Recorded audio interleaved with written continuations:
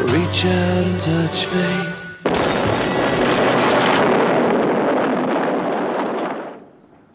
ვაგრძელებთ გადაცემას. თეორემას ბოლო ნაწილის თემა არის აბაშიძე კარასინის შეხვედრა და შემდეგ მიმოვიხილავთ სიტუაციას რუსეთში როგორც მოგეხსენებათ იქ პუტინის კრიტიკოსი ბატონი ნემცოვი მოკლეს და ამ ამ რუსეთში მიმდინარე პროცესებზე ვისაუბრებთ წარმოგიდგენთ თეორემას ბოლო ნაწილის სტუმრებს. ნიკა რურუა საზოგადოება ივერია ვანო მაჭავარიანი დიპლომატი ელენე ხოშტარია გრასის დამფუძნებელი და დავით ბერიტაშვილი პოლიტოლოგი. და ელენე შენგან დავიწყებ. იცი ალბათ რომ დიდი აურძაური მოყვა და პროტესტი ერთგვარი პოლიტიკური ძალების მხრიდან და ეს არ ყოფილა მხოლოდ ნაციონალური მოძრაობა პირიქით თავისუფალი დემოკრატები ბევრად უფრო აქტიურობენ ამ მიმართულებით. ბატონი აბაშიძის მიერ ვთქვათ გაკეთებულ განცხადებებს, ვთქვათ იქ იქნება რუსული მედიის მეშვეობით თუ სხვა გზებით თუ შეგიძლია ანუ მან ერთ-ერთ გამოცემასთან საუბარში აღნიშნა რომ საქართველოსი არ იგეგმება ნატოში არ იგეგმება ნატოში გაწევრიანება დღეს ხვალ ზეგ და ნუ გასაგებია ჩვენც ვიცით რომ ხვალ არ იგეგმება მაგრამ ზოგადად რისი შემცველია ეს გზავნილი ამაზე რო ისაუბრო და მეორე საქართველოსი არ განთავსდება ნატოს სამხედრო ინფრასტრუქტურა მაშინ როდესაც ვიცით რომ სასწავლო ცენტრი კეთდება და იქ ნამდვილად რაღაც ფუნთუშების ცხობას არ აპირებენ. როგორ შეაფასებდი მის ამ განცხადებებს და კიდევ ერთ დავამატებ თვით თვითონ უმრავლესობამ, როდესაც კომენტარისთვის მიმართეს, აი მაგალითად ზვიად კვაჭანტირაძემ თქვა, რომ ეს მისი მესიჯები იყო რუსული აუდიტორიისთვის გამიზნული, რას ნიშნავს 21 საუკუნეში რუსული აუდიტორიისთვის გამიზნული მესიჯი. ну პირველ რიგში სულ მიდის დისკუსია იმის შესახებ თუ რა ზიანის მომტანია აბაში კარასინის ფორმატი არის თუ არა ზიანის მომტანი რა სარგებელია და ასე შემდეგ ეს ზოგადად რო დავანებოთ თავი რისი მომტანია ქვეყნისთვის ეს კონკრეტული განცხადება იყო სწორედ იმის დემონსტრირება რამდენ შეიძლება არა კარგის მომტანი კი არა კონკრეტული ზიანის მომტანი იყოს პრაქტიკულად ამ ხაზის არსებობა რომელიც თან ინსტიტუციურად არის გამოყოფილი სრულიად ანუ არ შედის არც ერთი რაღაცა საგარეო საქმეთა სამინისტროსთან რაღაც დაქვემდებარებაში არის თალკე ხაზი რომელიც არის მუდმივად რუსეთთან ურთიერთობაში და ჩვენ ხედავთ რომ არა მხოლოდ ასე ვთქვათ, არ ვიცით იქ რას განიხილავენ, რაზეა საუბარი, რას თმობთ, რას არ თმობთ და ვართ მარტო დარჩენილები რუსეთთან საუბარში. არამედ ჩვენ უკვე ხედავთ ძალიან კონკრეტულ ცვლილებას აქცენტების დასავლეთთან მიმართულებაში. რასაც ვამბობდით, რომ შეუძლებელია ნატო შეათავსო რუსეთთან, რასაც რუსეთი გეუბნება მუდმივად, ჩვენ ახლა ეს უკვე ვიხილეთ ოფიციალური საქართველოს თავრობის წარმომადგენლის პირით, რომელიც ლავროვის მუხარი საპასუხოდ ამბობს, რომ არა დღეს და ხვალ ნატო არ იგეგმება და საქართველოს ნატოს ინფრასტრუქტურა არ განთავსდება. აა დღეს და ხვალ ნატო იგეგმება და ნატო საქართველოს თავრობისთვის თუ ჩვენ დეკლარირებული გვაქვს ნატოში გაწევრიანება, სწორედად ჩვენი მესიჯი უნდა იყოს, რომ რაც შეიძლება სწრაფად უნდა შევიდეთ ამ ორგანიზაციაში. თუ თუ გუშინ იგეგმება იმ უსაფრთხოების სიტუაციიდან გამომდინარე, რაც რაც ჩვენ ვიმყოფები და მით უმეტეს უკრაინის ფონზე ძალიან ბევრი არგუმენტი მოგვემატა ჩვენ იმისთვის, რომ ვამტკიცოთ, რომ სწორედ დღეს და ხვალ უნდა შევიდეთ ნატოში. თუ ვინმე თქვა სოფლიოში ამბობს, რომ შესაძლოა დღეს ვერ შევდივართ ნატოში და ცოტა უნდა მოვიცადოთ, ჩვენ ამის საპასუხო არგუმენტები უნდა ვეძებოთ და არა თქვათ ლავროვის დასამშვიდებელი ან რუსეთის დასამშვიდებელი მესიჯები გავაჟღეროთ ამ საკითხთან დაკავშირებით. რაც შეეხება ინფრასტრუქტურას, აქაც ინტერპრეტაციის საგანი არის ნატოსთან ერთად გახსნილი და ნატოს გადაწყვეტილებით გახსნილი საქართველოსი სასწავლო ცენტრი, ეს არის ნატოს ინფრასტრუქტურა საქართველოს მიწაზე. ეს იყო ერთ-ერთი იდეა საერთოდ ამ ცენტრის გახსნის, რომ ნატოს ნატო პრაქტიკულად ფეხს დგავს პირველად უკვე ინსტიტუციურად ჩვენ ქვეყანაში და აქაც ჩვენი დაინტერესება უნდა იყოს, რომ ამას უბრალოდ სასწავლო ცენტრი კი არ ვეძახოთ. ამას ვეძახოთ სწორედ ნატოს შემოსვლა თან სამხედრო კომპონენტი ჩვენ ტერიტორიაზე რაც აძლიერებს ჩვენ უსაფრთხოებას რუსეთის საფრთხის წინაშე. და თან ჩვენ დღეს ვიმყოფებით ამ ცენტრის გახსნის პროცესში აქაც ჩვენ უნდა ვიყოთ პროაქტიულები და საუბრობდეთ რამდენად სწრაფად უნდა რამდენად სწრაფად უნდა გაიხსნას, უნდა ვიმუშაოთ, აქ არ არის მარტივად თან საკითხი, ეს პრაქტიკულად რომ ვთქვა, არის ძალიან ბევრი ქვეყანა დასარწმუნებელი, რომ ფინანსური რესურსი ჩადონ იმაში, რომ ეს ცენტრი სწრაფად გაიხსნას. აი ამ ფონზე ჩვენ ვამშვიდებთ, ასე ვთქვათ, რუსეთს და ვეუბნებით, რომ არა არანაირი ინფრასტრუქტურა არ იქნება. ანუ გამოდის ესეთი ფორმულა შემოგთავაზა დღეს საქართველოს მთავრობამ, რომ თუ რუსეთი ძალიან გაღიზიანდება, ჩვენ მზად ვართ შევარბილოთ ეს მიმართულება. რაც ეს არის მთავარი პრობლემა, იმიტომ რომ შესაძლოა აბაშიძემ უფრო კომფორტულად იგრძნოს საუბრისას კარასინთან და ხურულ ოთახში თავი, ან ზოგადად ხელისუფლებამ უფრო კომფორტულად იგრძნოს რუსეთის მიმართულებაზე თავი, ამისთვის ჩვენ პრაქტიკულად ვარბილებთ აქცენტს ნატოს მიმართულებაზე. კი ბატონო, ბატონო, ანუ თქვენთან მექნება შემდეგი შეკითხვა, რადგან როდესაც ეს ფორმატი იქნებოდა თქვენ მაშინ ჯერ კიდევ საქართველოს ხელისუფლებასთან შეიყავით თუ თანამშრომლობის ყოველ შემთხვევაში მრჩეველი. კი ბატონო, აა მაშინ იყო საუბარი იმაზე და დღეს აი თავისუფალი დემოკრატების წარმომადგენელმა ქალბატონმა ნინო გოგუაძე მისაუბრა, ჩემი აზრით ძალიან სწორად, რომ აი ამ ფორმატის მიზანი, რომელიც ახლა მე იმ თავიდან არ მომწონდა, მაგრამ რა მნიშვნელობა აქვს, იყო მხოლოდ რაღაცა კულტურული, ჰუმანიტარული და ეკონომიკური ურთიერთობების დალაგება, ხოლო რაც შეეხებოდა პოლიტიკურ, სამხედრო, თავდაცვასთან დაკავშირებულ საკითხებს, ეს უკვე მოხდებოდა ჟენევის ფორმატში საერთაშორისო აქტორების აქტიური მონაწილეობით. ეხლა დღეს ჩვენ გვესმის რომ თურმე აბაშიძე და კარასინი მიუხედავად იმისა რაც ამბობს საგარეო საქმეთა სამინისტრო კარასინმა ეს დაადასტურა და აბაშიძემაც რაღაცა გაკურით თქვა შეხვედრაზე შესულისას თუ გამოსულისას კომენტარში ასე მოვისმენ განიხილავენ რაღაცა აფხაზეთის რკინიგზის თემას განიხილავენ აი საქართველოს როდესაც დათანხმდა რუსეთის გაწევრიანებას სოფლიო სავაჭრო ორგანიზაციაში მაშინ ასეთი შეთანხმება შედგა რომელთაც ფაქტობრივად ტერიტორიული მთლიანობა აღიარა რუსეთმა საგმიტომ რომ დაუშვა იმის შესაძლებლობა რომ არსებობდეს შვეიცარიული კომპანია, რომელიც გააკონტროლებს აფხაზეთიდან საქართველოსში და აქედან აფხაზეთის გავლით გამავალ ტვირთებს და იქ იქნებოდა რაღაც გარკვეული საბაჟო კონტროლი რუსეთ საქართველოს საზღვარზე, მათ შორის ოკუპირებული ხაზის ოკუპაცი ოკუპირებული ტერიტორიების ტერიტორიებზეც. როგორ ფიქრობთ, რა რა რა პროცესთან გვაქვს საქმე, ანუ ხო არ გაიბერა ბატონი აბაშიძის ფუნქციები უცებ და თუ კი რას უკავშირებთ ამას? ბატონ აბაშიძე კარასინის ფორმატი თავისთავად იმ სავაჭრო ეკონომიკურ თუ ჰუმანიტარულ თემებთან დაკავშირებით თავის შედეგი მოიტანა ესე ვთქვათ პირდაპირ ეს იყო ფორმატი რომელიც როგორც ჩანს უფრო რუსებისთვის იყო კომფორტული ჟენევის მოლაპარაკების გარდა არსებობს ასევე ფორმა რასაც ქვია შვეიცარიის მხარეს მესამე მხარეს ხელშეწყობით რუსეთ-საქართველოს დიალოგი ასევე ბევრ თემაზე შეიძლება იყოს და ეს არის საერთაშორისო პრაქტიკაში ზოგადად მიღებული პრაქტიკა. ჩვენ როდესაც პირველი შეხება ქონდა ბატონ ამბაშიძესთან, ეს 2000 და მერე შემდგომი 2013 წლის უკვე ესე ვთქვათ, ბოლო 2014 წლის დასაწყისი ჩვენ ძალიან კონკრეტულად ფაქტიურად მივედით დასკვნამდე, რომ აბაშიძის და კარასინის ფორმა თავის ესე ვთქვათ, მისია შეასრულა და ახალი თემების ძიებაში არის ფორმატი გამომდინარე იქიდან თავრობა რა დავალებას მიცემდა აბაშიძე, აბაშიძე მზად იყო ამ მიმართულებით ემუშავა.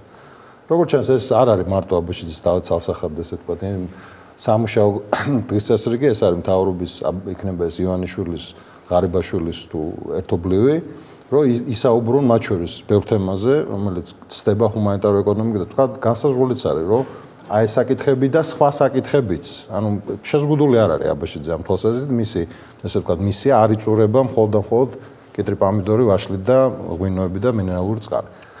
ის რომ ბატონი აბაშიძე ამ განცხადებას აკეთებს კარასინთან შეხვედრამდე, ჩემს აზრით, ყოველ უადგილოს, იმიტომ მის კომპეტენციას ნამდვილად ცილდება საუბარი ნატოსთან დაკავშირებით საქართველოს რა მიმართულებით მიდის და რა სიჩქარეთ მიდის.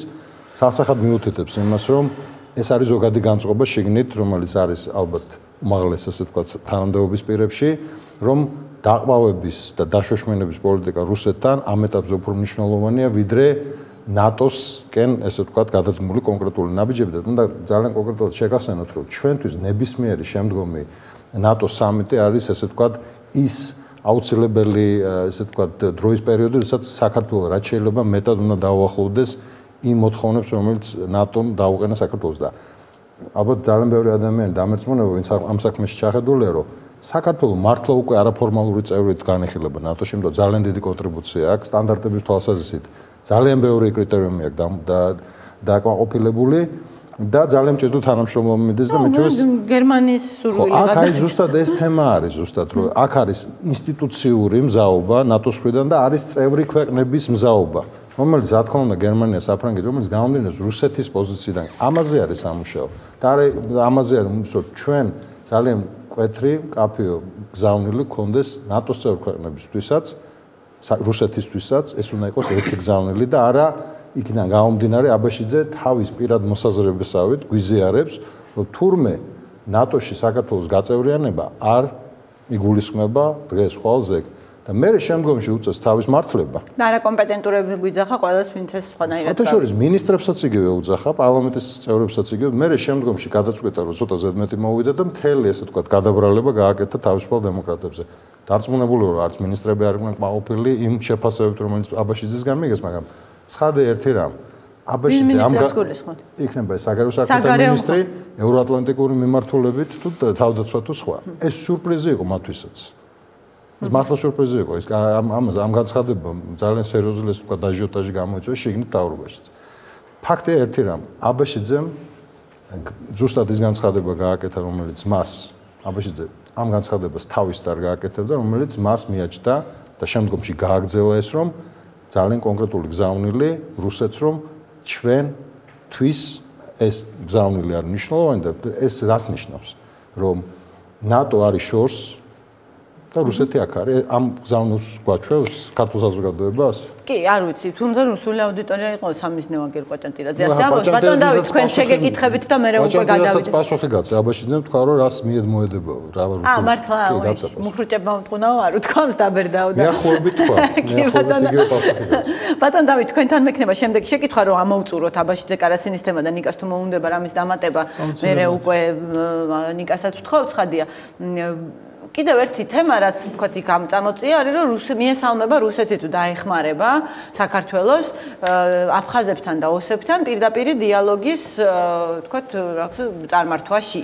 არა და ჩვენ ძალიან კარგად ვიცით რომ მთელი ამ ხნის განმავლობაში აგვისტოს ომის შედეგი თუ დადგა რამე თუ შეიძლება რომ ესე უწოდოთ საერთოდ ომიდან რაღაც პოზიტიური დავინახოთ ის არის რომ რუსეთი აღიარებული იქნა კონფლიქტის მხარედ საქართველოს მოლაპარაკებებზე დაუჯდა რუსეთი და არა მისი მარიონეტები და ჩვენ ახლა იგივეს ხედავთ ზუსტად უკრაინაში. უკრაინაში იგივე ეს მინსკის მეორე შეთანხმების დროსაც იქ ჩაოლებრივად ეს სეპარატისტები, რუსეთის მარიონეტი სეპარატისტები ისხნენ და იმათ ელაპარაკებოდა პოროშენკო და ეს მიიჩნეოდა მთავარ პრობლემად. ანუ დღეს გამოდის რომ აბაშიძე ამბობს რომ რუსეთის როლი არის მნიშვნელოვანი იმისთვის რომ ჩვენ აფხაზებს და ოსებს ველაპარაკოთ. თუ შეგიძლიათ რომ აი ეს ნარატივი შეაფასოთ. საითკენ მინდის ეს? ჯერ მინდა ეს კომიკურ მხარეზე გავამახვილო ყურადღება. აი ბრეჟნევის დროს როცა ის გამოდიოდა სიტყვით, რომელ არსაც არ ჩართავდი, იქ იყო ბრეჟნევისა და ახლა პუტინის გამოც ასია, ყველა არხი გადაცეს მაგათ. ანუ მიდიხარ შენ ჟენევაში, იქ ხდება გარაზინი. მე მიდიხარ პრაღაში ისევ კარასინი ანუ ერთსა და იგივე ადამიანთან რაღაცას აგვარებ სხვადასხვა ვითომ კონტექსტებში. შემდეგ მე რასაკვირველია არ მესმის. ჩვენ გვინდა ნატოში გაწევრა იმისთვის რომ უფრო უსაფრთხო იყოს საქართველოს მაგრამ რანაირად შეძლებს ნატო საქართველოს უსაფრთხოების დაცვას თუ მას არ ექნება რაღაც სტრუქტურა საქართველოს საზღვრების შიგნით ამიტომ ესეც გაუგებარია, რომ უარყოფ საერთოდ, რომ არ ვიცი როდის იქნება და ზეგისთვის გადადო ეს ყველაფერი. ამიტომ აი თუ რაღაც საფრთხე იქნება საქართველოსთვის, გაუგებარია მეხუთე მუხლი როგორი მუშაობს ნატოს ნატოს მეხუთე მუხლი როგორი მუშაობს საქართველოს დასაცავად თუ არაფერი არ იქნება საქართველოს ტერიტორიაზე. აა სანამ თქვენ გითხოვამდე მივა ესე იგი ძალიან გაუგებარია საერთოდ ის ჩანაფიქრი რომ დავждეთ და ვილაპარაკოთ აი ამ საკითხებზე ცალკე გარასინაბაშიძის ფორმატში. იმიტომ რომ თელევიზიოსთვის ცნობილი იყო რომ ჩვენ გვაქვს ერთი დიდი პრობლემა რუსეთთან. ოკუპაცია, დევნილების დაბრუნება, ტერიტორიების მიტაცება და ასე შემდეგ. ეხლა ამ ხელისუფლების საფრთხის სხვა დახმარებით ამ თავარ და ერთადერთ საკითხს რომელიც იწოდა თემა მსოფლიო დაემატა როგორც თქვენ ზანეთ ბოლოკი მინერალური წყარი 1000 სხვა რაღაცა. ანუ დღის წესრიგში შემოვიდა 10 თუ 11 საკითხი და ეხლა ესე იგი რუსულმა მხარემ შეიძლება ყოველთვის ასეთი გვითხრას ჩვენ რომ თქვენ ხართ ექსტრემისტები 11 საკითხიდან 10 დავაკმაყოფილეთ და ნუ ახლა 11-ს განხორდა როცა მე 11 საკითხია ამ დროს პირველია. ჩვენი დევნილების დაბრუნება ოკუპირებული ტერიტორიები მავთულ ხართები და ასე რა თავარია. საერთოდ ჩვენ და რუსეთის ურთიერთობაში. ანუ ეს კონტრასტული და მკაფიო სურათი რომელიც არსებობდა უძინ. ეხლა არის აი ესეთი გათქვეფილი და სხვა რაღაც პრობლემებში. ანუ მათრახის და თაფლაკვერის თუ ესე გამოდის, ხო? კნუტი პრიანიკ რასაც ქვია, ამის შესაძლებლობა ხო, მაგრამ ამავე დროს თავარი ჩვენი რუსებს რა თქვა რაღაცებს უკმაყოფილებენ სტაფილო შეგვაქვს. უკვე ფოკუსში აღარ არის, იმიტომ რომ გადატვირთულია სხვა პრობლემები, რომლებზედაც ესენი ლაპარაკობენ. რაც შეეხება აფხაზებთან დიალოგს, რასაკვირველია, რუსეთი თავიდანვე ცდილობდა რომ რაღაც განზე გამგარიყო ჩვენ რა მშვიდობის ყოფილები თან დსთ-ს ის კონდათ დროშით იყვნენ მაშინ როდესაც არც ერთი დსთ-ს ჯარისკაცი არ იყო რუსების გარდა აფხაზეთში. ну ეს არის წახმარება თქვა რუსეთის პროპაგანდისტვის როცა შენ აღიარებ საქართველოს მხრიდან რომ დიახ შენ ხარ შუამავალი, ну კრემლი თუ მოსკოვი, დიახ შენ შეგიძლია რაღაცნაირად ხელი შეუწყო ჩვენ და აფხაზების საუბარს. ну რამდენადაც მე ვკითხულობ აფხაზების ბლოგოსფერას. ჯერჯერობით იქ დომინანტი არის, ну სიძულვილი საქართველოს, არ ვიცი ახლა ეს რამდენად გულსფელია, შეიძლება იქაც რაღაცის ეშინიათ მაგათ თავისი იმის, ну რეპრესიული აპარატის, მაგრამ არანაირი სურვილის, აი ქართველებთან ერთმაგიდასთან დაჯდომის ყოველ შემთხვევაში დღეს არ ჩანს. იმიტომ რომ აფხაზების ბლოგოსფერო ეს არის, э, ну, э, წერაკითხვის ცოდნე არა э, კომპიუტერის ცოდნე ხალხის დაახლოებით 200-მდე ადამიანი აქტიურები არიან და ჩვენ ხედავთ მაგათ ასეთ დამოუკიდებას კონფრონტაციულ დამოუკიდებულებას ქართველების მიმართ. თუმცა რეალობაში თვათ ასე არ არის. როცა არის რაღაც სხვავე შემთხვევები ავანტყოფობის, სამკურნალოდ ან დიდი მოგება ესეთი აი კონტრაბანდული ვაჭრობის თვალსაზრისით ეს სიძულვილი მეორე ხაბაზე გადადის. განზე გადადის. თუმცა უნდა აღიარო რომ მე ბებიაუსი მყავს და ნათესავები მყავს ცხინვალის შემოგარენში. კი, კი, კი, ანუ იქ არიან. ნუ ურთიერთობა გვაქვს შენარჩუნებული და ისინიც ექიმთან და თქვათ იგივე ჩამოდიან რა მოკლედ აქ ნახულობდნენ ომამდე ინტენსიურად დადიოდნენ და აქ ყიდულობდნენ პროდუქტს ყიდულობდნენ მაღაზიებში ჩამოდიოდნენ და ასე შემდეგ. ბატონ ნიკა თუ რამეს დაამატებდით ამ აბაშიძე კარასინის თემას და ბარემ კითხვასაც დავსვავ და მე გადავიდეთ უკვე ნემცოვის და კიროვის სიკვდილს 34 წელს შეადარეს ნემცოვის მკვლელობა რუსეთში და ივარაუდეს ის რომ ამას მოყვა შემდეგ უკვე რეპრესიები და ყველაფერი ის რაც ახლა ვიცით 37 წლის იმას აღარ გავიხსენებ რა მოხდა 27 წელს რა ჩაატარა. დაახლოებით აი ამას და ამი ამს გავსეს. როგორ ფიქრობთ? გადაჭარბებული ხომ არ არის ეს მოლოდინი და რა პროცესები შეიძლება მისცეს საბაბი, იმიტომ რომ ფაქტია, რომ ძალიან თავხედური მკვლელობა მოხდა, ხო? კრემლის გვერდზე ჩაცხრილეს, ათქოს ადამიანი, რომელიც თვითონ აი რაღაც პუტინის კრიტიკოსი იყო და რაღაც ერთ ოლიგარქებთანაც საკმაოდ დაახლოებული პირი. კი არა, ისიც თქვეს, რომ თითქოს ამის მკვლელობით ორი ოლიგარქებს ნიშანი მისცა, რომლებთან შორისაც უკმაყოფილება ცხადია იზრდება ამ სანქციის გამო, რა მოუვათ იმ შემთხვევაში თუ ამ უკმაყოფილების გამოხატვა შეეცდებიან. აა კითხვა გასაგებია, მოგესალმებით კიდე ერთხელ. აა მაგრამ მინდა რომ თქვა შემაჯამებელი ასეთი რაღაცა ჩემი აზრით აბაშიძე კარასინის ფორმატზე, რომელიც უკიდურესად მნიშვნელოვანია და ამ წუთას ჩემი აზრით უფრო მნიშვნელოვანი ვიდრე თუნდაც ნემცოვის მკვლელობა საქართველოსთვის.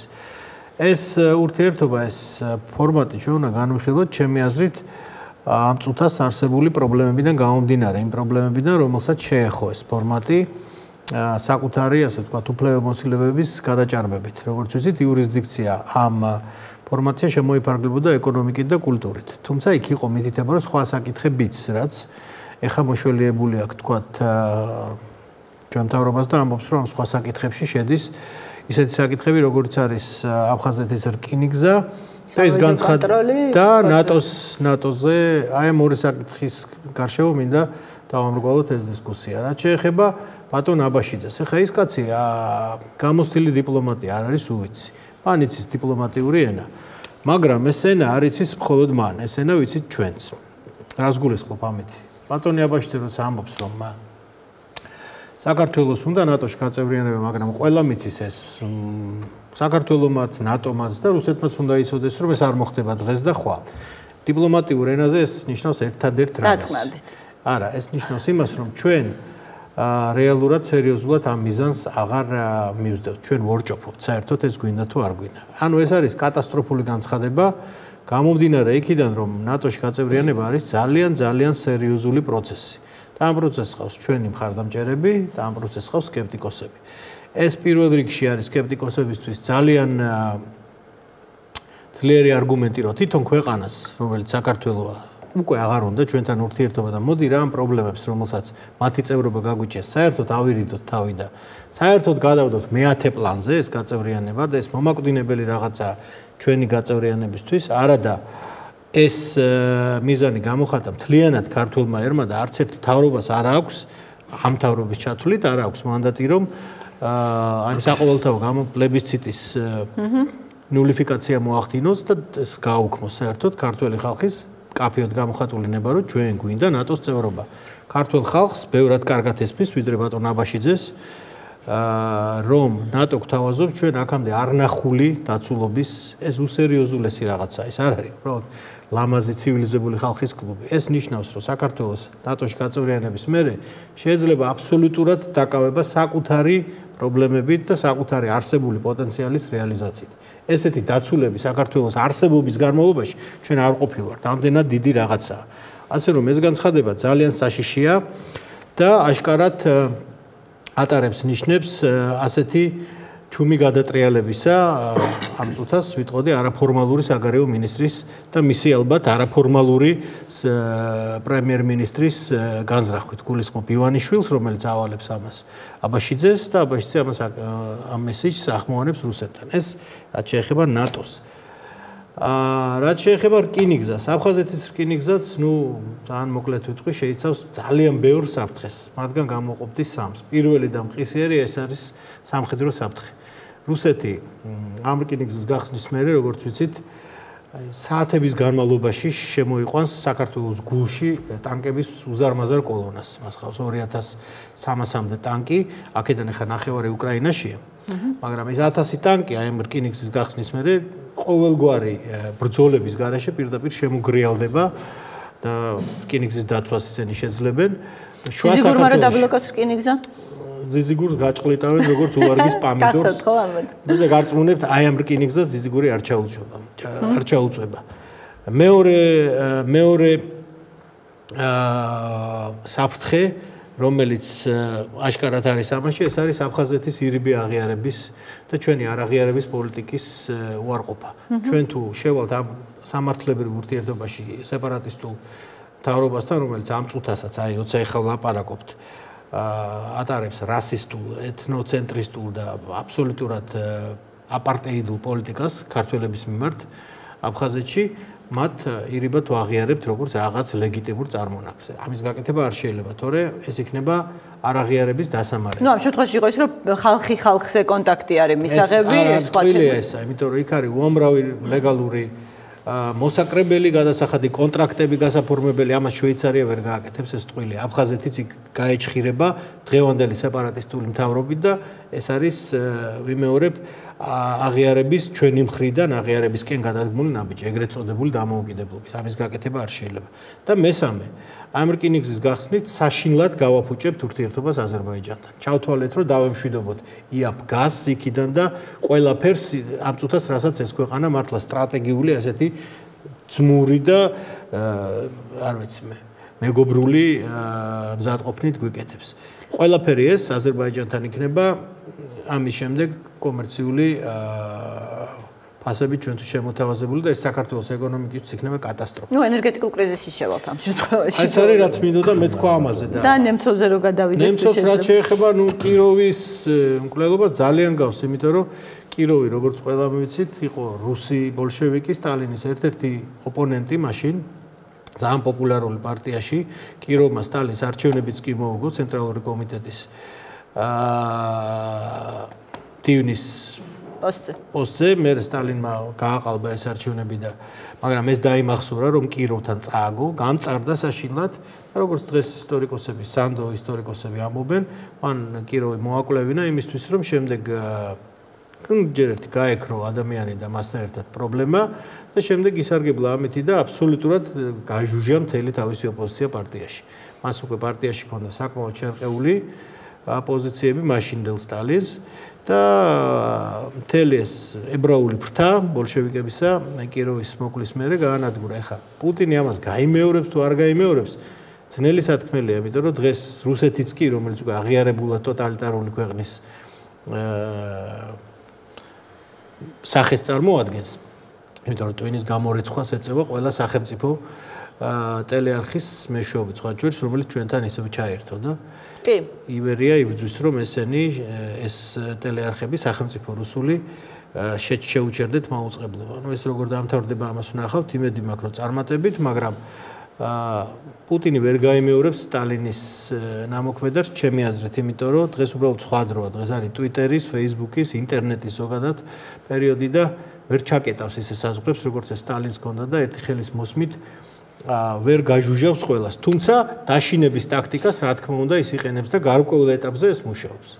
კი ბატონო, თუ შეიძლება ლაკა რეალურად აი ხედავთ რა სიტუაცია არაფერი დასავლეთი ადებს სანქციებს რუსეთს ვთქვათ მოგწონს არ მოგწონს სანქციები საკმარისად მიგვაჩნია თუ არასაკმარისად ამას მნიშვნელობა არ აქვს მაგრამ ფაქტია რომ ნაბიჯები იდგმება რუსეთის ვთქვათ აი ამ ექსპანსიონისტური და რევიზიონისტური პოლიტიკის შესაჩერებლად და შედეგად ვიღებთ რას რომ რუსეთი ჩაოლებრად აგრძელებს ამას და კიდევ უფრო ღრმად შედის იგივე უკრაინაში. ხედავთ რომ საქართველოსი ვთქვათ ახლა ეს რაღაცა ცხელი დაპირისპირება არ ჭირდება, მაგრამ ყველანაირად ნიშნები ამისია რომ ვთქვათ რბილი ძალის მეშვეობით ცდილობს საქართველოსი ფესვების გადგმას და ამაზე მეტყველებს უკვე ვთქვათ ინფილტრაცია სხვადასხვა უწყებებში პრორუსული ძალების და პირდაპირ ვთქვათ იქ FSB-სთან მიმული ძალების ამას მარტო მე არ ვამბობ ამ შემთხვევაში ბევრად უფრო ჩემზე გაცნობიერებული ადამიანები ამბობენ, მაგალითად თავისუფალი დემოკრატების სახით, რომლებიც ბოლო დრომდე იქ იყვნენ და უყურებდნენ ამ პროცესებს და გავლენა სად არის? არაფერი, საქციელზე შეიძლება ეკონომიკას აზარალებს, იქ თქვათ ეკონომიკური რეცესია იქნება წელს, ასე შემდეგ, მაგრამ საქციელზე პოლიტიკურ ქცევაზე არანაირი გავლენა ამას არ აქვს. რა შეიძლება რომ როგორ ფიქრობ? ანუ რა რა რა რა რა არის გასაკეთებელი იმისთვის რომ არა მხოლოდ თქვათ ეკონომიკას და რუს ხალხს იქ თქვათ მოუტანო ზიანი არამედ მთავრობის ქცევა შეცვალა. Ну პირველ რიგში უნდა გვესმოდეს რომ რუსეთის დღევანდელი საქციელი არის ბევრი წლის მე ვიტყოდი დასავლეთის მიერ დაშვებული შეცდომების შედეგი. ანუ ეს არ არის ესეთი მარტივი ახლა დაღმოცენებული პრობლემა, რომელსაც უცებ ჩაახშობენ, ჩააქრობენ და თქვა დღეს ან ყისიერად რუსეთი შეიცვლის საქციელს. 20 წლის პრაქტიკულად საბჭოთა კავშირის დაშლის შემდეგ რუსეთი როგორც საფრთხე დასავლეთისთვის არ იყო აღქმული. ჯერ იყო რაღაც ილუზია, რომ დემოკრატია დამყარდებოდა, შემდეგ აღმოჩნდა, რომ დემოკრატია არ მყარდება, მაგრამ მაინც ეს არის ვირტუალური სახელმწიფო და კონფრონტაციაში პრაქტიკულად არც ერთი ისეთ საკითხის აა გამო არ შედიოდნენ. შემდეგ იყო ტერორისტთან ბრძოლა, სადაც იყო პუტინის საკმაოდ ისეთი მოქმედება ჭკვიანური, როდესაც მან გამოაცხადა თავის საერთაშორისო ტერორიზმთან მებრძოლ მთავრობად და ჩეჩნეთის პრობლემა, რომელიც იყო ერთ-ერთი მთავარი პრობლემა დასავლეთსა და რუსეთთან ურთიერთობაში ადამიანის უფლების თვალსაზრისით პრაქტიკულად გადაიზარდა საერთაშორისო ტერორისტთან ბრძოლად. ის იყო პირველი, რომელმაც ობამას აღუთქვა მხარდაჭერა ტერორისტთან ბრძოლაში 11 სექტემბრის შემდეგ. ამიტომ შემდეგ იყო დიახ, შემდეგ იყო პერიოდი, როდესაც ცხადი გახდა, რომ რუსეთი არ არის დასავლეთის ენაზე მოსაუბრე ან დასავლეთისთვის კომფორტული პარტნიორი, მაგრამ იყო არაერთი მცდელობა გადატვირთვის, შერიგების, ჩართულობის და ასე შემდეგ. შემდეგ, ანუ პრაქტიკულად პოსტ ცივიომის პერიოდში ხდებოდა რუსეთის მიმართ პოლიტიკის ჩამოყალიბების საკმაოდ შეცდომებით სავსე მტკივნეული პროცესი. დღეს დაამნიშნულოვანია, რომ პრაქტიკულად პირველად უკრაინის შემდეგ და სამწუხაროდ არა საქართველოს 2008 წლის ომის შემდეგ, მაგრამ უკრაინის შემდეგ დასავლეთი არის სრულიად კონსოლიდირებული, რომ რუსეთი წარმოადგენს საფრთხეს. ეს გადაწყვეტილება, აი ამ კონსოლიდაციის გადაწყვეტილება თავისთავად არის მნიშვნელოვანი. თუმცა ამ კონსოლიდაციის მიუხედავად არ არის ჩამოყალიბებული რეცეპტი როგორ უნდა დაძლიონ ეს პრობლემა. და ესეც არის პროცესი, იმიტომ რომ დასავლეთი ეს არ არის რაღაცა ესეთი მექანიზმი, რომელშიც ერთი იღებს გადაწყვეტილებას და მეორე უბრალოდ ამას აღასრულებენ, ეს არის მსჯელობის, სხვადასხვა ვარიანტის ცდის პროცესი, სადაც ბევრს მიაჩნია, ჯერთი ვერ აღიქვავენ, თქვათ, თავისი პრინციპები ძომავენ, რომ თქვათ კომპრომისის უპასუხებს კომპრომისი და ასე შემდეგ, ანუ ამ ესეთი ილუზიები დასავლური კულტურიდან გამომდინარე არსებობს და ამიტომ აი ეს რეცეპტი რა დოზით უნდა მოხდეს ბირთულ სახელმწიფოსთან თქვათ დაპირისპირება საბოლოო ჯამში გამოგონილი არ არის. თუმცა ის რომ სანქციები მაგალითად არ იმეორებენ საქართველოს ომის შემთხვევაში დაშვებულ შეცდომას როდესაც პირველივე შესაძლებლობაზე თქვათ სანქციები მაშინ რუსეთთან არ იყო მაგრამ შეწყვეტილი დიალოგი აღადგინეს. ის რომ მიუხედავად რუსეთის მხრიდან მოჩვენებითი სამშვიდობო პროცესებისა რაც ხდება მინსკში არ წყდება სანქციების ზეწოლა რუსეთზე აა და ეს პროცესი გრძელდება, მეტიც განიხილება სამხედრო დახმარების კომპონენტები, ეს მეტყოლებს იმაზე, რომ დასავლეთის აი ეს ჩამოყალიბების პროცესი როგორ დაუპირისპირდეს, უცებ მიდის სწორი მიმართულებით. თუმცა არ არის იმ მომენტზე, როდესაც ეს იქნება ეს იქნება ეფექტური. დღევანდელი რუსეთის მოქმედებას და არავის არ უნდა ქონდეს ილუზია, რომ ერთ დღეში უცებ პუტინს შეეშინდება და რაღაცა შეცვლის. ხო, დღევანდელი რუსეთის მოქმედება ხდება სწორედ ამ კონტექსტში. მისი აი ესეთი ეს ხო არ იყო უბრალოდ კვლელობა, ხო? აი ყველაზე მეტად მე ლიტვინენკოს კვლელობას შევადარებდი ამას, როდესაც იქაც დემონსტრაციულად შუაგულ ევროპაში მოახდინა ესეთი პროვოკაციული დემონსტრაციული აქტი. აქ კიდე ახალი ეტაპია, როდესაც ეს არის პირდაპირ გზავნილი არა მარტო რუსეთის საზოგადოებისთვის. ესეთი ტიპის ნოგოროდის, ანუ ასეთი მაღალი ასეთი მაღალი რანგის პოლიტიკო ხო, პრემიერი იყო. ხო, და ვიცე-პრემიერი იყო ელცინის დროს და ეს არის იყო ყველაზე რადიკალური ელცინის ერთ-ერთი ფავორიტი იყო. ეს არის ყველაზე რადიკალურად დაპირისპირებული საუბრობდნენ რომ ის კიდე ეძებდა რაღაცა გარკვეული მიუხედავად იმისა რომ ბოლოს იყო იყო საკმაოდ დაპირისპირებული. ეს არის ყველაზე რადიკალური ოპოზიციონერი პუტინის. ანუ ეს იყო გზავნილი რომ პუტინი ახალ ეტაპზე გადადის კიდე აი ამ ძალის დემონსტრირების და ამ აგრესიულობის დემონსტრირების მათ შორის დასავლეთისთვის ამიტომ მე მგონია რომ ტრაექტორია არის სწორი დასავლეთის და ეს აუცილებლად საბოლოო ჯამში გამოიღებს შედეგს იმიტომ რომ ნიკამ აბსოლუტურად სწორი თქვა რესურსი დღეს რუსეთს არც იდეოლოგიური არც ფინანსური არც სამხედრო არ გააჩნია იმისა რომ გაიმეოროს იმპერიის ან საბჭოთა კავშირის საბჭოთა კავშირის პერიოდი რაც არ უნდა მტკივნეული იყოს თავად ეს პროცესი. კი ბატონო გაჩნდა ესეთი აზრის ბატონ დავით რომ აი ეს ნიკასთანაც თქვი და იგივეს გამიმეორებ, რომ ნემცოვის მკვლელობა იყო ერთგვარი პრევენცია, ერთგვარი რევოლუციის, რომელიც შესაძლოა მომხდარიყო რუსეთში, ვთქვათ, იგივე ოლიგარქების მხრიდან და მე მახსენდება კახაბენდუკიძესთან საუბარი ბოლოს ანუ ბოლო პერიოდში ზუსტად აი როდესაც რუსეთზე სანქციების დაკისრება დაიწყეს, მე მე ამიტურად ვეუბნებოდი, რომ კი, მაგრამ აი ხა ოლიგარქებს რო აღარ გაუშვებენ, თქვათ იქ ვიზები, ისა ესა, ეს ყველაფერი ხო ოლიგარქებზე ძალიან არის დამოკიდებული პუტინის ხელისუფლება და შეიძლება ისინი აჯანყდნენ და ეს და მითხრა რომ რატო ფიქრობ ასეო, რატომ არ ფიქრობ რომ ზუსტად დასავლეთის ხელით ასუსტებს მათ და იშორებს თავიდანო, იმიტომ რომ საბოლოო ჯამში მათაც შეიძლება ანუ იმდენად დაუცველია, ვთქვათ, რეჟიმი, ასეთი თეორია გაჩნდა, რომ პრევენციას ახდენს ეს ახლა მომავალი საფრთხეების. აი, ამაზეც თუ შეგიძლიათ რომ ვისაუბროთ და კიდევ მინდა ისიც მო რა მდგომარეობაა ახლა რუსეთში ეკონომიკა, ანუ სანქციების შედეგებზე ვისაუბროთ, თავი დავანებოთ პუტინის მოქმედებებზე იქონია თუ არა გავლენა, ზოგადად რა შედეგი დადგა რუსეთში სანქციების შედეგად?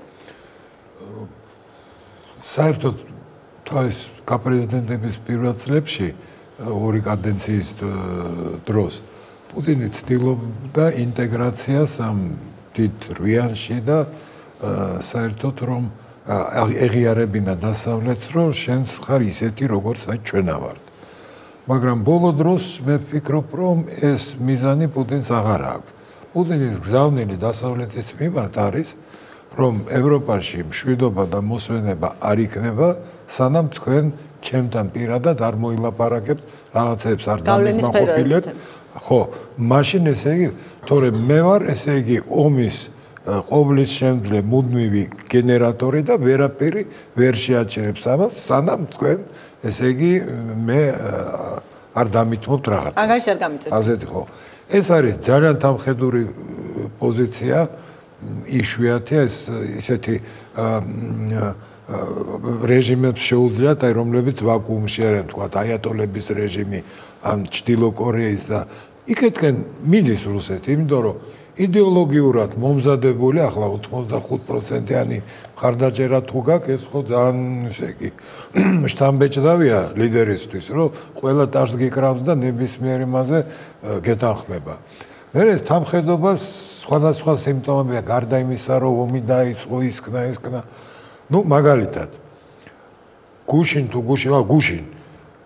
დააკავა პოლიციამ უკრაინის რადის დეპუტატი რომელიც ყვავილებით ვიდეოდა მასე ადგილზე მემორიალურ ადგილზე სადაც დახვრიტეს ნემცოვი 24 საათი იყო იმაში კაპეზე თუ რა ქვია მაგას მე მე გამოუშვეს ეს არის უბრალო პოლიტიკური ღორობა იმიტომ რომ ის დეპუტატი მას ჰქონდა დიპლომატიური პასპორტი, ლეგალურად იმყოფებოდა რუსეთში, იმ ყვავილის გარდა არაფერი არ ჰქონდა მაგას ხელში და ვერაფერს ვერ უზამდნენ მაგას. ვერც პასუხებზე უპასუხებდა, ვერც იმას, შენ ყველაფერზე უბრალოდ სიჩუმეს იმას, ну, სიჩუმეს გამოიყენებდა, ხო?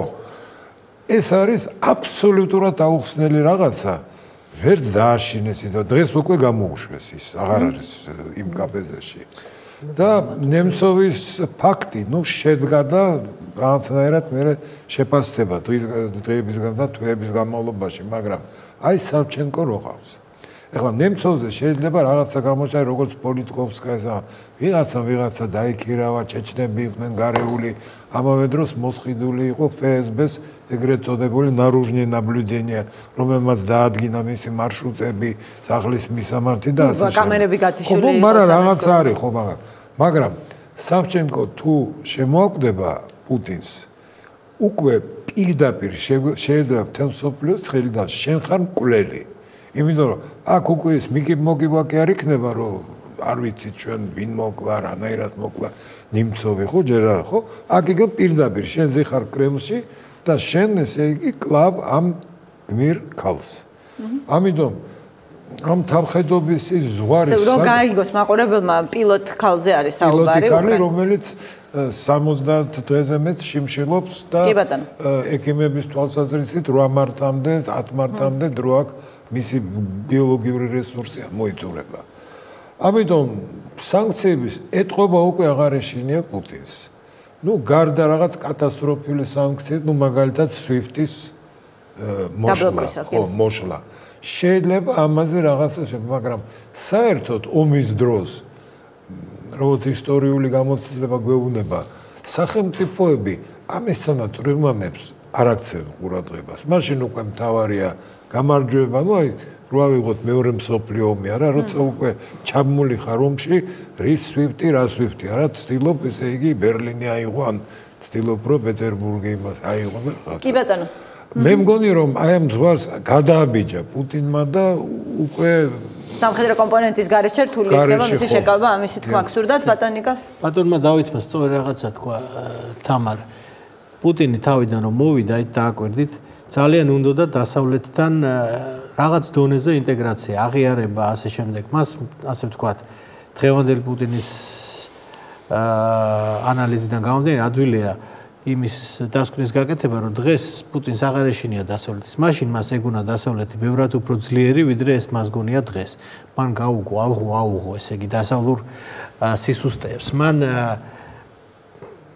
კორუფციაში გათხოვა და გარყუნა ბევრი დასავლელი პოლიტიკოსი. აა გადაკიდა ერთმანეთს ევროპული ქვეყნები და შეერთებული შტატები და ამერიკა ასუსტებს ნატოს როგორც შეუძლია და შემდეგი სამიზნე ბევრი დამკვირვებლის და ვეთანხმები მათ ჩემი აზრითაც ეს არის რომ მეხუთე არტიკლის, ანუ მეხუთე მუხლის გაუქმება უნდა. გაბიაბურება რა. აზრი დაკარგოს ამ მუხლმა და თუ ეს აზრს დაკარგოს, ნატო აღარ იარსებებს. და თქვენ თქვით რა უნდა გააკეთოს დასავლეთმა? მე არ ვთვლი რომ მაინდამაინც სამხედრო მეთოდი კომპონენტის არა არა ეს არა სამხედრო კომპონენტი ძალიან ბოლო რაღაცაა, იმიტომ რომ როგორც ვიცით მე ომსარგულის ყოფამ შემთხვევაში სამხედრო კომპონენტი შეიძლება დაზვერვით დახმარება, ასე შემდეგ. გეტყვით, აი რას ვფიქრობ მე.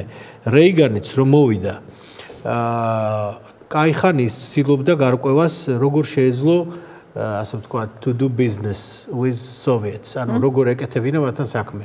და ამბობდა, რომ ამ საბჭოთა ლიდერებმა გაახურეს საქმე კუდებიან და კუდებიან ჩემზე. ჯერ ერთი მოკვდა მე ბრეჟნევი, მე ჩერნეკო, მე ანდროპოვი და they keep dying on me. და ბოლოს მიხვდა რომ საბჭოთა იდეოლოგია არ არსებობს მტაცებლური ინსტინქტის გარეშე. ანუ მათთან თანაარსებობა გამორიცხულია და თქვა რომ ეს არის ბოროტების იმპერია და ისინი არიან ნულოვანი თამაშის მომხრები, ან ყველაფერი ან არაფერი. ამიტომ მეც ამათ უნდა სწორედ ასე დაუპირისპირდე და გენიალური დოკუმენტი შეიმუშავა თავის ჯგუფთან ერთად, რომელიც თუ არ წაგიკითხავთ, გირჩევთ რომ წაიკითხოთ, ამას ქვია დირექტივა 75 უშროების საბჭოში, რომელიც შედგება სამი ძირითად ნაწილისგან. უმარტივესი და 4 გვერდია სულ. თუ ხუთი პირველი გვერდი არის რომ საბჭოთა კავშირი საბჭოელებს ანუ ბოლშევიკებს ყველა ფრონტზე გაუხსნათ ბრძოლა. იქნება ეს ეკონომიკური იქნება ეს დაზვერვის იქნება ეს მესამე ქვეყნებში იქნება ეს ნებისმიერი სადაც ინტერესი აქვს იქ დაუპირისპირდეთ ყველგან მთელ სოფლიოში. მეორე აა გაუხსნათ საბჭოელებს იდეოლოგიური ბრძოლა. სწორედ ის, რასაც ახლა დასავლეთი არ უკეთებს პუტინს. იდეოლოგიურად არ ებრძვის პუტინს. ხანდახან იტყვიან, რომ ეს ავტორიტარული მართველია. სინამდვილეში ეს არის მაფიური სახელმწიფო. გაუხსნათ რეიგანის ესე იგი მეორე ნაწილი იყო იდეოლოგიური ბრძოლა, რომ მორალურად გავაკოტროთ. დაუწყეს მაგრამ იწოლა ებრაელების საკითხზე, ადამიანის უფლებებზე, ემიგრაციის საკითხზე, ზოგად თავისუფლებებზე, კონსტიტუციაზე და მესამე საკითხი. რომ ყველაფერს რუსებთან აწი, რასაც გავაკეთებთ, გავაკეთებთ ნაცვალგების პრინციპზე. ანუ reciprocity ყველაფერში. დაჭirdება ჩემგან სიტყვაზე კალმისტარი. მე მოვთხოვ რაღაცას. არაფერს არ უკეთებ ისე რომ ჩემი ინტერესი არ გავატარო. აი ამ სამა რაღაცა ზუსტად 7 წელიწადში საბჭოთა კავშირი გაფხრიცა. ყველა ფრონტზე დაპირისპირებამ, იდეოლოგიურმა გაკოტრებამ და ყველაფერში გამალებულმა შეიარაღებამ მაგ ეგ ერთ-ერთი კომპონენტი იყო. გამალებული შეერაღება ბლეფი კოსმოსის. ომების რომელიც ნახდათ ბლეფი იყო. ამ ყველაფერმა ერთად გაფხრიცა და დაანგრია საბჭოთა კავშირი. ასეთივე სერიოზულობა ჭირდება დღეს დასავლეთს პუტინის დასამარცხებლად და პუტინის დაამარცხებს. მაგრამ ჯერჯერობით იქ არ არის. ობამა სელფების გადაღებით არის დაკავებული მაშინ როცა უკრაინაში დღეში არ ვიცი ათობით და შეიძლება ასობით კაცი კვდება და ეს ამას აკეთებს დაუსჯელად. კი ბატონო, და აი მიშა მაჭავარიანს მინდა ვკითხო და უნდა დავასრულო სამწუხაროდ. მიშა სახშია. რა? გადამემართა. თქვენ პირველი დაუგადო. კი ბატონო, ვანდას მინდა ვკითხო. აა ეხა ბოლო კვლევებით, აი თებერვლის კვლევებითაც ობამა ახსენა და არ შემიძლია რომ ეს არ ვკითხოთ, ირკვევა რომ ამერიკელები, ამერიკელი მოსახლეობა, რომელიც არის დემოკრატიულ სახელმწიფოში ლეგიტიმაციის წყარო, ნებისმიერი ხელისუფლების და მის აზრს არ არის ანუ დემოკრატიულ სახელმწიფოში მოსახლეობის ხელისუფლება ითვალისწინებს, რუსეთს აღიქვამს ნომერ პირველ მტრად და ეს ასე არ ყოფილა ყოფილა ძალიან დიდი ხანია. კიდე გაიო ესე. ბატონო? კიდე კაირო ისე. როგორ ფიქრობთ, თუ ამას რა რა გავლენა შეიძლება ამან იქონიოს ამერიკის პოლიტიკაზე, იმიტომ რომ ჩვენ ძალიან კარგად გვახსოვს აი ბუშის მერე ობამა როგორც მოვიდა, რომ აღარ უნდათ ეს რაღაცა ამერიკელ ხალხს თქვა იქ რაღაცა რო ყოფილიყო ეს პოლიციელი, ნუ ყოველ შემთხვევაში ამაზე აპელირებდნენ, არ უნდათ ეს რაღაც დამატებითი ვალდებულებები მთელი მსოფლიოს წინაშე დაღლილები იყვნენ. ამისგან იქ მიზეზებიც ჰქონდათ 11 მერე იყო ერაყი მერე ავღანეთი და ასე შემდეგ. დღეს არის აი ესეთი განწყობა რომ რუსეთი არის მათი number 1 enemy. როგორ შე როგორ ფიქრობ ამან თუ შეიძლება რაიმე გავლენა იქონიოს ამერიკის პოლიტიკაზე არ აქვს ამ პრეზიდენტის თუ მომდევნო? რა თქმა უნდა უკვე გავლენა აქვს კიდევაც იმიტომ რომ ცალსახად ალბათ აღქმა რუსეთის არის რომ მას უნდა დაშალოს ის ევროპული უსაფრთხოების არქიტექტურა, რომელიც შეიქმნა CVM-ის დასრულების შემდეგ ამერიკა კლიანი და თავისუფალი ევროპის საფრთხე.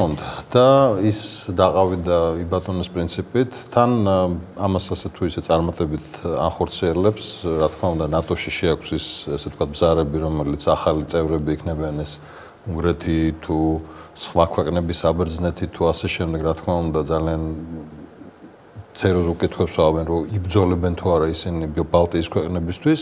და საინტერესო იყო კაბოტონის სუზან ბრაისის ინტერვიუ და განცხადებები მათ შორის. რომელსაც მან პირდაპირ საუბრა იმაზე რომ ბალტიის ქვეყნებს როგორც წევრ ქვეყნებს ნატოსი ჩვენ დავიცავთ. ეს ვიღაცას მოწონს თუ არ მოწონს და რუსეთმა ეს უნდა იწოდეს ხაზი გადის აქ და ამ თელი სერიოზულად ლაპარაკობთ. მეორე თემა არის ესე ვთქვათ არაწევრი ნატოს ქვეყნები, რომლებიც ასევე არიან მოკავშირეები საქართველოს გავსად, რა შეიძლება ამ ქვეყნების თვალსაზრისით, მათ შორის უკრაინა თუ სხვა, გაკეთდეს რომ მეტად დაცული იყოს ეს ქვეყნები და რუსეთმა იგზნოს ის ზღვარი, სადაც გადის რო ვთქვათ, აქაც პრობლემები შეიძლება შეექმნას. პუტინი მუშაობს სისუსტეებზე, ამ სისუსტეებს იყენებს ყველა ვარიანტში ევროპაში, ამას საკეთებს ძალიან ესე ვთქვათ მოხერხებულად, მაგრამ ამას ყველა ხდება, რომ საკეთებს იდეოლოგიით, ევროპის არქიტექტურის დაშლა, ახალ ევრაზიული სივრცის შექმნა და სამწუხაროდ ის ვერ ხდება, თუ რა თქმა უნდა ხდება ალბათ ამას, მაგრამ სამწუხაროდ ფაქტია ის, რომ ის ხდება ძევალი თავის წარმატების ასე ჩვენ გვისაუბრია ზუსტად იმიტომ რომ ის ნაციონალისტური, შოვინისტური თუ იმპერიალისტური ძალები, რომლებიც ხარს უჭერენ იმ სამხედრო აგრესიას, რომელიც საქართველოსში იყო თუ უკრაინაში, ისინი ეთხოვენ მეც და მეც. მას უნდა ისტორიაში შევიდეს როგორც ესე ვთქვათ, მიწების დამბრუნებელი, ესე ვთქვათ, პაბიდანოსეც როგორც თვითონ იტყვიან და ამ ამისთვის გააკეთებს ალბათ ყველაფერს. ჩვენ ძალიან ამ თვალსაზრისით ხელად უნდა ვიყო, ძალიან ესე ვთქვათ, ერთიანი პოზიცია უნდა დავაფიქსიროთ და აი ეს მიკიბულ მოკიბული საუბარი რომელიც სამწუხაროდ ბატონს ურაბაშიძისგან ჩვენ საზოგადოება მოისმინა ეს საქართველოს ესე თქვა არაძლიერებს ამ თვალსაზრისით ის რომ რეალურად ამერიკის შეერთებული შტატები უკვე კონკრეტულ ნაბიჯებზე ფიქრობს რომ რა შეიძლება დაუპირისპიროს ამერიკამ თავის ნატო წევრ ქვეყნებთან ერთად რუსეთს ეს ცხადია ეს რო გახდებათ შემდგომი ესე თქვა საპრეზიდენტო არჩევნების თავარი თემა. კი, როგორც წესი საგარეო პოლიტიკა არ არის ხოლმე არჩევნების. და ისიც ახლა ძალიან ისე გამოგდის ობამაზე, მაგრამ ამდენიმე ძალიან სერიოზული ადამიანი ამბობდა რომ ობამა იგვიძებს და იძახის ნეტა მსოფლიო არ იყოს ისეთი როგორც არის და ნეტა პუტინი იქცეოდა სხვანაირად როგორც იქცევა, მაგრამ ის არ არის საგარეო პოლიტიკური ესე თქვა პრეზიდენტი სამწუხაროდ. მან ევროპა ესე თქვა ვერ აღიქვა როგორც ის სივრცე რომელშიც ამერიკის ინტერესები უნდა გამყარდეს რომ რუსეთი თუ სხვა ძალებს არ მიეცა საშუალება რომ ეს ევროპული უსაფრთხოების არქიტექტურა დაირგვეს და უნდა თუ არ უნდა ეს ობამას მთელი სახელმწიფო აპარატი უკვე არის მიმართული იმისკენ რომ დაისვა დაისვა კითხვა რა დაუპირისპირონ რუსეთს და რა გააკეთონ იმისთვის რომ ევროპა არ იყოს გახლეჩილი ამ თემაზე. რა თქმა უნდა მერკელის ოლანდის ესე ვთქვათ პოზიცია ამ თვალსაზრისით რომ რუსეთი არის საფრთხე რა თქმა უნდა მხოლოდ მხოლოდ წაადგება პუტინისთვის ძალიან კეთრი გზავნილის გაგზავნისთვის რომ არის საზღვრები და რა თქმა უნდა პუტინი თუ დაინახავს ძალას იქ ის გაჩერდება.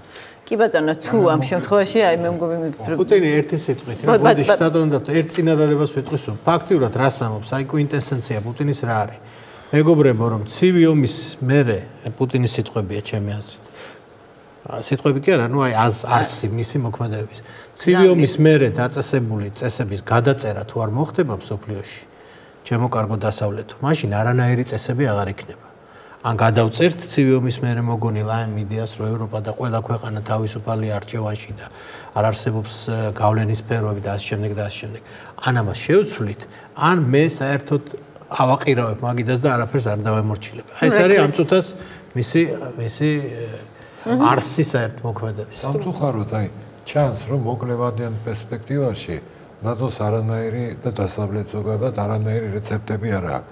მაგალითად თქვენ რო იფიქროთ ისეთ ჰიპოთეტიკურ შემთხვევაში თქვა ისკანდერი ესროლა კიევს რუსეთმა. როგორი იქნება რეაქცია დასავლეთის? გაუგებარია, ხო? და ეხლა შევცვალოთ ჩემი და თქვა რიგას თუ ესროლა ისკანდერი.